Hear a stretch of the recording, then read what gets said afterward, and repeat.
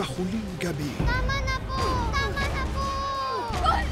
Si Nanay Rachel, si Tatay. Magtulos na sina Nathaniel at ang tagasundo. Kahit ano po yung gawin ninyo, magagawa pa rin po nila pagsisihan yung mga kasalanan nila. Mapapatunayan ang tunay na lakas ng pananampalataya.